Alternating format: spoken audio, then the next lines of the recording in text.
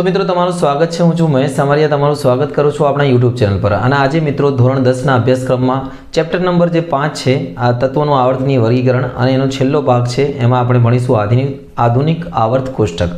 અને આ આવર્ત કોષ્ટકની દરેક માહિતી પૂરીપૂરી ડિટેલ આપણે મેળવીશું. આપણી પાસે આધુનિક આવર્ત કોષ્ટક છે, એટલે તમને આમાં બધું ખબર પડી જશે. તમે ગમે તે ધોરણમાં હોય મિત્રો, દસમામાં હોય, અગિયાર, બારમામાં હોય કે નવમામાં, તમારે જ્યારે આવર્ત કોષ્ટક સમજવાનું હોય તો વીડિયો તમને બહુ કામમાં આવશે. બહુ ઇઝી છે, અને ધ્યાનથી જોજો, તમને આખું આવર્ત કોષ્ટક ખબર પડી જશે કે આ બધું શું છે આની અંદર. તો આપણે સ્ટાર્ટ કરીએ છીએ અને હા, જો પેલો મિત્રો પહેલાં બે વીડિયો ના જોયા તો જોઈ લેજો. તમને લિંક તમને ડિસ્ક્રિપ્શનમાં મળી જશે. તો લેટ સ્ટાર્ટ આધુનિક આવર્ત કોષ્ટક. હવે સૌથી પહેલાં સમજીએ કે આ બધું શું લખેલું છે? આ બધા તત્વોના નામ લખેલા છે. અત્યારે આપણી પાસે ઘણા બધા તત્વો શોધાયેલા છે. એટલે આ બધાને તત્વોની આ ગોઠવણી કરેલી છે. આધુનિક આવર્ત કોષ્ટકોનું જે મેન જે ફાળો જાય છે એ હેનરી મોસેલેને જાય છે. હેનરી મોસોલે ઓગણીસો તેરમાં તત્વોના પરમાણિક ક્રમાંકનો શોધ કર્યો હતો. જેના પછી આ પરમાણિક ક્રમાંક એટલે એટોમિક નંબર શોધાયા પછી આધુનિક આવર્ત પુસ્તક બનાવવું બહુ ઇઝી પડ્યું. એમને કીધું હતું કે ભાઈ પરમાણુ દળ કરતાં પરમાણિક ક્રમાંક વધારે આધારભૂત છે. કેવું છે કે ધારો કે બે છોકરાના આપણે રોલ નંબર પ્રમાણે ગોઠવીએ વિદ્યાર્થીઓને અને એમના વજન પ્રમાણે ગોઠવીએ, તો રોલ નંબર પ્રમાણે એમને સરળતાથી ગોઠવી શકાય. એના જેવું છે કે પરમાણિક ક્રમાંક એટલે atomic number.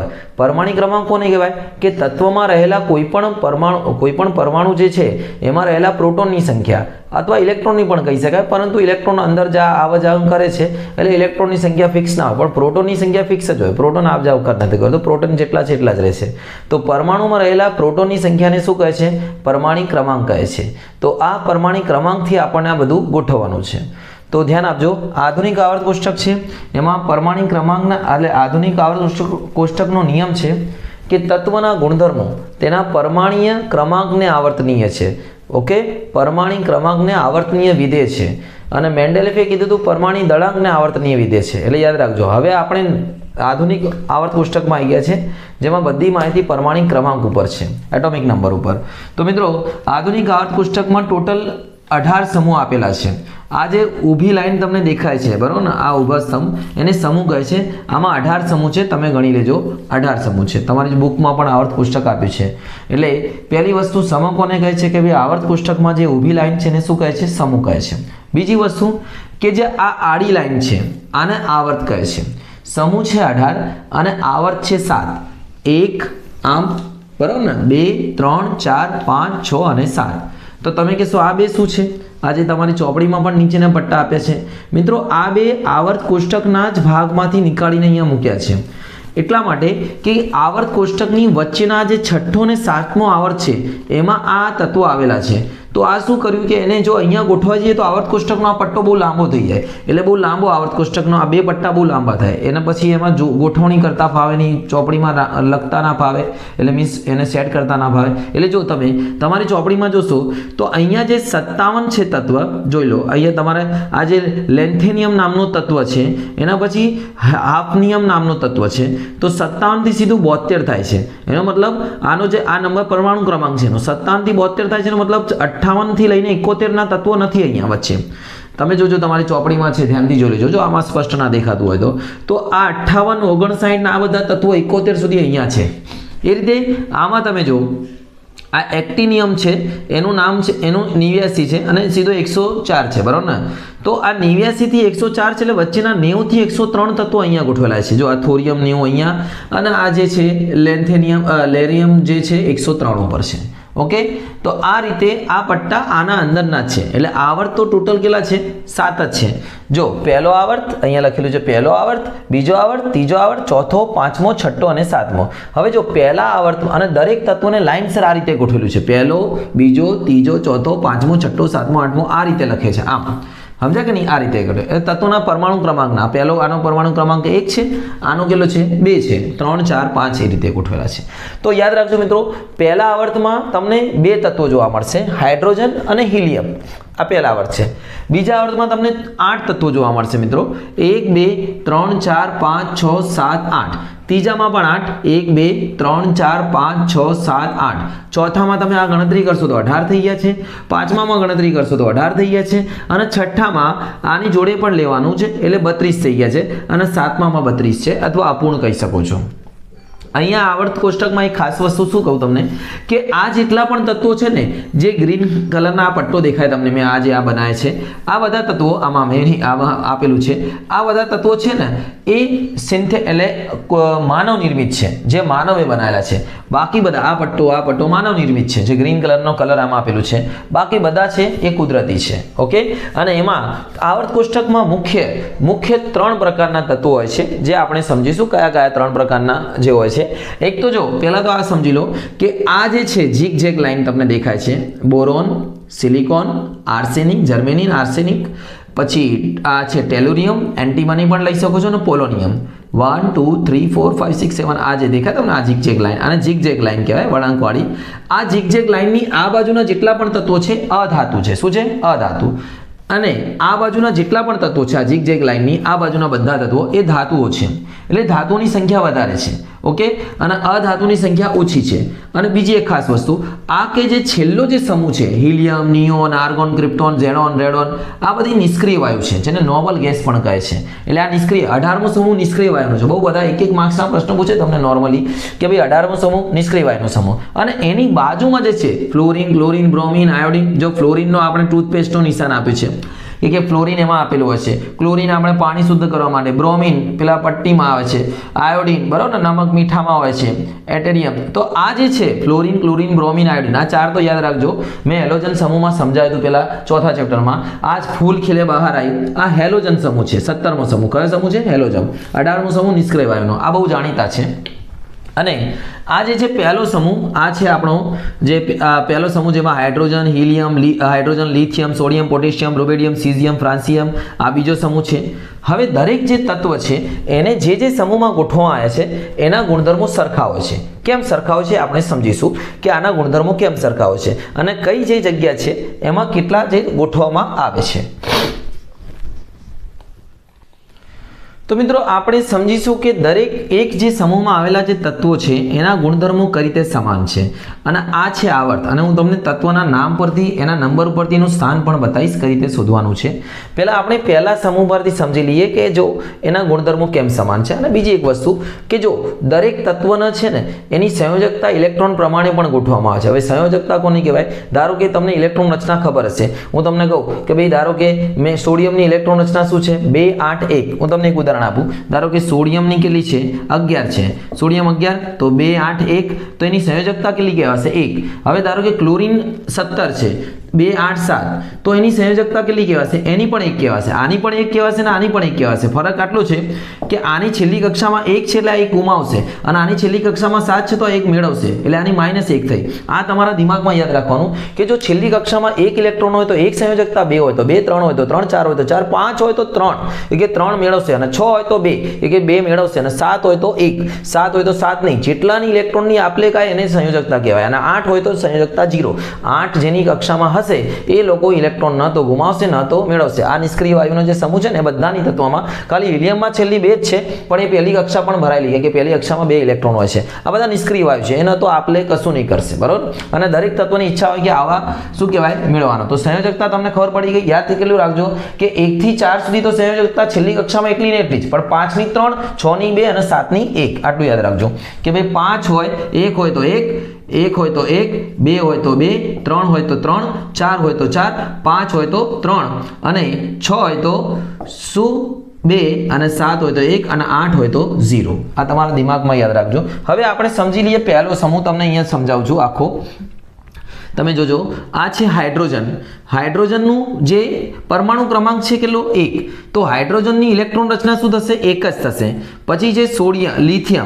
Sodium lithium, sodium, potassium હાયલિના કે રૂબિકેસ ફારો, સીઝિયમ, ફ્રાન્સિસિયમ. બરાબર ને? આનું છે ત્રણ, આની અગિયાર, ઓગણીસ, આનું સાડત્રીસ, આનું પંચાવન, આનું સિત્યાસી. ઓકે? આ મને ખ્યાલ છે. હવે જો આની ઇલેક્ટ્રોન રચનાઓ તમને સમજાવું. પહેલા સમૂહની આની સંયોજકતા હશે પ્લસ વન કે આ પ્લસ વન વાળા છે. બધાની છેલ્લી કક્ષામાં એક. ધારો કે આની ઇલેક્ટ્રોન રચના એક. આની બે એક. બે આઠ એક. બે આઠ આઠ એક. ઓગણીસની શું થશે? બે આઠ આઠ એક. ઇલેક્ટ્રોન રચના કરી તે ગોઠવા પહેલાં પહેલી કક્ષામાં બે આવે, પછી આઠ આવે, પછી આઠ આવે પછી ચોથી કક્ષામાં જાય. અને જો યાદ રાખજો, ત્રીજી કક્ષામાં ફરીથી પણ ભરાય. એ તમને આગળના લેવલમાં સમજાવીશ બે આઠ આઠ અને અઢાર એક, બે આઠ આઠ આઠ અઢાર અઢાર એક, બે આઠ આઠ અઢાર અઢાર બત્રીસ એક. તો જો તમે જુઓ કે દરેકની છેલ્લી કક્ષામાં કેટલા ઇલેક્ટ્રોન છે? એક. એટલે આ પહેલા સમૂહના બધા તત્વો એક ઇલેક્ટ્રોનનું શું કરશે? ગુમાવશે. પ્લસ વન આયન બનાવશે. એટલે બધાની એક જ હશે કે ઇલેક્ટ્રોન ગુમાવવાની વૃત્તિ ધરાવશે. એટલે આ બધા ધાતુઓ છે. એક ઇલેક્ટ્રોન ગુમાવશે. અને દરેકમાં જો તમે પહેલામાં એક કક્ષા છે, બીજામાં બે કક્ષા, હું તમને દોરીને સમજાવું તો વધારે ખ્યાલ આવશે કે તો મિત્રો આ છે પહેલો સમૂહ જેમાં મેં પહેલા સમૂહને લખ્યા છે લાઇનસર હાય લીના કે રૂબી કેસ ફારો આ યાદ રાખવાનું તમારે. હાય લીના કે રૂબી કેસ ફારો જેમાં આપણે ઇલેક્ટ્રોન રચના સમજીએ કે કઈ રીતે? પહેલા સમૂહ હાઇડ્રોજનનો એક જ છે, એટલે એક આવશે. લિથિયમની બે છે, એટલે બે સોરી ત્રણ છે, એટલે એનો પરમાણુ ક્રમાંક ત્રણ છે, એટલે બે એક એક. એટલે પહેલી કક્ષામાં બે, જી, એક. આપણે સોડિયમની બે, આઠ, એક. કેટલી થાય છે? બે, આઠ, એક. આની છેલ્લી કક્ષામાં એક, આની એક, આની બે એક, બે આઠ એક. પોટેશિયમની બે આઠ આઠ એક. થોડી ક્રોસ થઈ જાય છે કે જગ્યા ઓછી છે મિક્સ થઈ જાય છે. બે આઠ આઠ એક. પછી રૂબેડિયમની, રૂબેડિયમને નીચે લખી દઈએ. રૂબેડિયમની થશે, એમાં એક હજી કક્ષાનો વધારો થશે. બે આઠ આઠ, પછી બે આઠ આઠ અઢાર અને એક. થઈ ગયું આ થઈ ગયું છે અઢાર અને એક. અને છેલ્લી કક્ષામાં પાછળ એક આવશે. પછી જે સીઝિયમની સીઝિયમની થશે બે, આઠ આઠ, અઢાર અઢાર અને એક. આ થઈ ગયું એની છેલ્લી કક્ષામાં એક. અને બાજુમાં ફ્રાન્સિસિયમની દોરી દઉં છું. બે, આઠ આઠ અઢાર અઢાર અને એક. એટલે છેલ્લી કક્ષામાં આમાં પણ એક. હવે જો આમાંથી તમને ઘણું બધું ખબર પડી જશે કે કઈ વસ્તુનો કઈ રીતે અસર થાય છે. ધ્યાનથી જોજો કે તમે જોજો કે સમૂહમાં તમે ઉપરથી નીચે તરફ આવશો ને, તો પરમાણુ ત્રિજ્યા વધે છે. પરમાણુ ત્રિજ્યા કોને કહેવાય? કે ભાઈ પરમાણુના કેન્દ્રથી લઈને જે સૌથી બહારની કક્ષા છે, આ જે ધારો કે એક પરમાણુ છે, એના કેન્દ્રથી લઈને સૌથી બહારની કક્ષા જેટલી હોય, એક હોય તો એક, બે હોય તો બે, ત્રણ હોય તો ત્રણ. એટલી અંતરને શું કહેવાય? પરમાણુ ત્રિજ્યા કહે છે. અને યાદ રાખજો, હાઇડ્રોજનની પરમાણુ ત્રિજ્યા સાડત્રીસ પિકોમીટર છે, પરમાણુ ત્રિજ્યા પિકોમીટરમાં મપાય છે. તો તમે જોઈ શકો છો કે જ્યારે સમૂહમાં તમે ઉપરથી નીચે તરફ આવો છો, ઉપરની નીચે તરફ, તો એક એક કક્ષાનો વધારો થાય છે. આમાં એક કક્ષા એમાં બે, ત્રણ, ચાર, પાંચ, એક એક કક્ષા. એટલે પરમાણુ ત્રિજ્યામાં શું થાય છે? વધારો થાય છે. એટલે યાદ રાખજો, પરમાણુ ત્રિજ્યા વધશે. એનાથી શું થશે કે આને ધાત્વીય ગુણધર્મ પણ વધશે. કઈ રીતે? કે ધારો કે આ એક ઇલેક્ટ્રોન છે, આના કરતાં જે આનો ઇલેક્ટ્રોન છે, આનો ઇલેક્ટ્રોન છે, કે આના કરતાં આનો ઇલેક્ટ્રોન જલ્દી ગુમાવશે. કે આ એના કેન્દ્રથી એટલા દૂર છે, આ એનાથી વધારે ઝડપથી ગુમાવશે. પોટેશિયમ આના કરતાં વધારે ઝડપથી ગુમાવશે. એટલે પોટેશિયમમાં આના કરતાં વધારે ધાત્વીય ગુણધર્મ છે. જે જેટલી ઝડપથી ઇલેક્ટ્રોન ગુમાવે, એટલો વધારે ધાત્વીય કહેવાય. સમજી ગયા છો? એટલે ઉપરથી નીચે તરફ આવતા તમારો ધાત્વીય ગુણધર્મ પણ શું થશે? વધશે. ધાત્વીય ગુણધર્મ વધે છે, પ્લસ કોણ વધે છે? પરમાણીય ત્રિજ્યા પણ વધે છે. યાદ રાખજો પરમાણુ ત્રિજ્યા વધે છે. ઉપરથી નીચે તરફ આવતા. કે એક એક કક્ષાનો વધારો થાય છે ને આ ઇલેક્ટ્રોનનું કેન્દ્ર જોડે આકર્ષણ બળ ઘટતો જાય. કે જેટલો ઇલેક્ટ્રોન દૂર જશે, એટલો કેન્દ્રથી ઓછો જોડાયેલો રહેશે. એટલે ધાત્વીય ગુણધર્મ અને જેટલી ઝડપથી ઇલેક્ટ્રોન ગુમાવશે, એટલો ઝડપ એ વધારે ધાત્વી હશે. આ તો થઈ ગયું સમૂહની અંદર. યાદ રાખજો, ઉપરથી નીચે આવતા ધાત્વીય ગુણધર્મ વધે છે અને નીચેથી ઉપર જતા ધાત્વીય ગુણધર્મ ઘટે છે. આટલું સમૂહમાં તમને પરમાણુમાં ખબર પડી ગઈ. હવે તમને પેલું સમજાવી દઉં આવર્ત એટલે તમને બધું ક્લિયર થઈ જાય. તો મિત્રો આવર્તની વાત કરીએ તો આ છે બીજો આવર્તના મેં આઠ તત્વો લીધા છે અને એમાં સમજાવીશ કે આમાં પરમાણુ ત્રિજ્યા વધે છે કે ઘટે છે. ધારો કે લિથિયમની ઇલેક્ટ્રોન રચના થશે, લિથિયમ ત્રણ છે એટલે બે એક, બે બે, આની થશે બે ત્રણ, બે ચાર, બે પાંચ, બે છ. કે આનું આઠ છે, બે સાત અને બે આઠ. ઓકે? હવે જોઈએ, આપણે સૌથી પહેલાં બનાવીએ લિથિયમ. તો લિથિયમના અંદર બે ઇલેક્ટ્રોન આવશે, એટલે આ રીતનું હશે લિથિયમ. પહેલી કક્ષામાં બે અને બીજી કક્ષામાં આવશે એક. તો આ ભાઈ બે અને બીજી કક્ષામાં આવશે એક. આપણે આને ભૂસી નાખીએ. છેલ્લી કક્ષા દોરીશું આપણે, છેલ્લી કક્ષાને ઇલેક્ટ્રોન દર્શાવીશું. હવે બેરેલિયમ બતાવીએ આપણે, બેરેલિયમ. તો મિત્રો, આમાં પહેલી કક્ષામાં બે અને બીજી કક્ષામાં આવશે બે. પછી બોરોન બતાવીએ તો પહેલી, બે અહીંયા દર્શાવી દઈએ, બે બે ઇલેક્ટ્રોન તો દર્શાવી દઈએ. બોરોન બતાવીએ આપણે, તો પહેલી કક્ષામાં બે અને બીજી કક્ષામાં ત્રણ. એક, બે, ત્રણ. અને કાર્બન બતાવીએ તો પહેલી કક્ષામાં બે, બીજી કક્ષામાં એક, બે, ત્રણ, ચાર. નાઇટ્રોજન બતાવીએ તો પહેલી કક્ષામાં બે અને બીજી કક્ષામાં પાંચ. એક, બે, ત્રણ, ચાર, પાંચ. ઓક્સિજન પહેલી કક્ષામાં બે, બીજી કક્ષામાં છ. એક, બે, ત્રણ, ચાર, પાંચ, છ. અને ઓક્સિજનનો ઓ લખ્યો છે. ભાઈ કક્ષા નથી દોરી. ફ્લોરિન બતાવીએ તો પહેલી કક્ષામાં બે અને બીજી કક્ષામાં સાત. નાલીન ચાર, પાંચ, છ, સાત. અને છેલ્લે નિયોન બતાવીએ તો પહેલી કક્ષામાં બે અને બીજી કક્ષામાં આઠ. બહુ નજીક થઈ જશે. એક, બે, ત્રણ, ચાર, પાંચ, છ, સાત, આઠ. આ સમજી લેજો, આઠ છે. હવે તમે અહીંયા જોશો ધ્યાનથી, તો આમથી જ્યારે પણ હું લઈ ગયો છું આ બાજુ, તો આમાં પરમાણી ત્રિજ્યા આવર્તમાં ડાબી બાજુથી જમણી બાજુ જતા પરમાણી ત્રિજ્યા ઘટે છે. કેમ ઘટે છે? હવે સમજીએ. કે ધ્યાનથી જો, બધામાં કક્ષાઓ તો બે બે જ આવશે. યાદ રાખજો, બીજો આવર્ત તો બે કક્ષા. પહેલો આવર્ત તો એક કક્ષા, ત્રીજો આવર્ત તો ત્રણ કક્ષા, ચોથો આવર્ત તો ચાર કક્ષા, આટલું પણ યાદ રાખજો.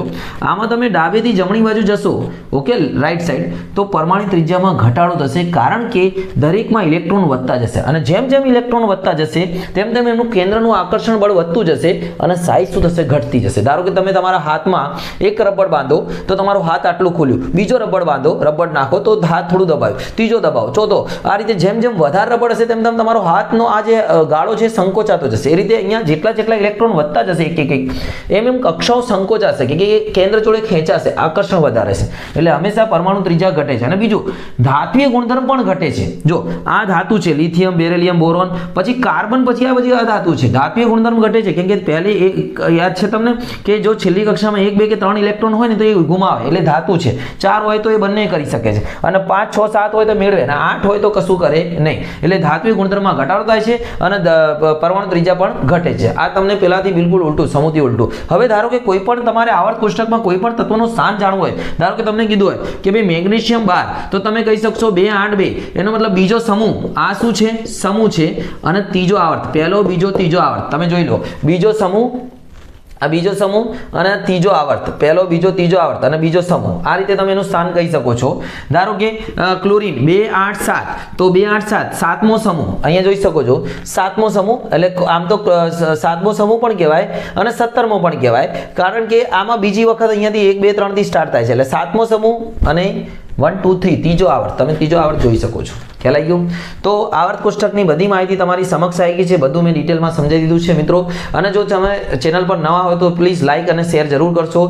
અને પ્લસ સબસ્ક્રાઇબ જરૂર કરશો, જેથી તમને તમારા કામના વીડિયો મળતા રહે. અને બાકીના પણ તમને કામના વીડિયો આગળ મળતા રહેશે. તૈયારી કરો, સમજો અને આગળ વધો. શુભમ.